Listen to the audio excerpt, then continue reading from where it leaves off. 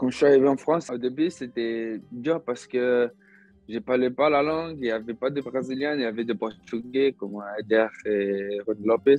C'était un peu dur au début. Mes premiers six mois, je suis parti jouer avec l'équipe B de, de Lille, mais j'étais sur le banc, sur la première équipe. Je suis resté les premiers six mois. Je, suis arrivé en février, je crois. en janvier. Janvier. C'était un peu dur. Un peu, non, c'était beaucoup dur. Ouais. les premiers six mois, j'étais entre moi. Tu vois, mais j'ai fait des amis et tout, mais c'était dur parce que je ne parlais pas la langue. Mais c'était six mois qui, que j'ai appris beaucoup. Il y a mhm. beaucoup de choses qui sont rentrées dans ma tête.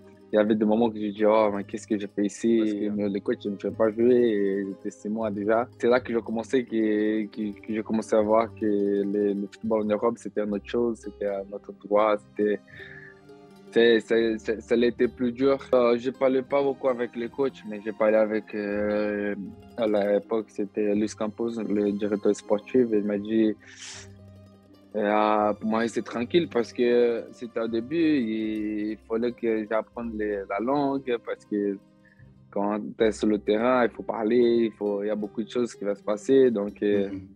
Et euh, pas, j'avais pas l'habitude aussi de les championnats français, parce que si tu joues au Brésil et tu joues en France, c'est une autre chose. Et j'ai joué la deuxième division au Brésil, mais j'ai joué avec la sélection, et... mais c'est toujours pas la même chose. Donc euh, il m'a dit, attends, tu as du temps pour, pour s'entraîner, tu as du temps pour apprendre la langue. Donc mm. reste tranquille, tu vas avoir ta chance et tout. Je crois que c'est pas la langue, c'est parce qu'après, euh, à Lille, il n'y avait pas beaucoup de joueurs qui parlaient portugais, donc j'ai, tu vois, il fallait, il fallait que j'apprenne le français, tu vois. Mm-hmm. Donc euh, j'ai toujours, j'ai parlé avec des personnes, même si j'ai dit bonjour, ça va, mais toujours je le dire, tu vois.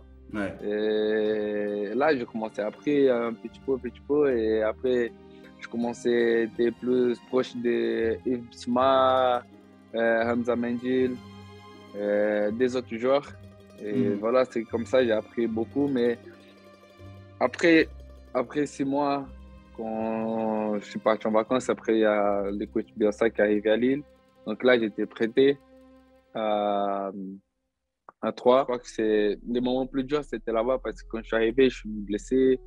Et je connaissais personne dans l'équipe. Je suis revenu, le coach ne me fait pas jouer. Et là, c'est dans ma tête, il y avait beaucoup de choses.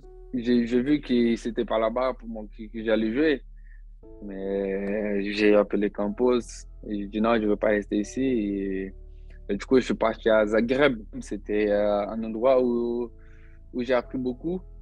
Mm-hmm. Et, et là-bas aussi, c'était un peu dur parce que là-bas, ils parlaient anglais et croate. Il y avait un, mec qui jouait à l'U23 qui, qui, parlait, qui parlait français. Donc là, j'étais bien proche de lui. Mm-hmm.